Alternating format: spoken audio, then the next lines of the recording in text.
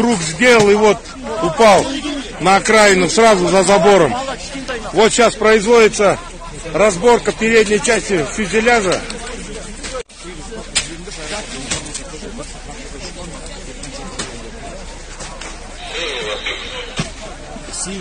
Вот за забор, вон там взлетная полоса. Он взлетел, получается, вот так кружил.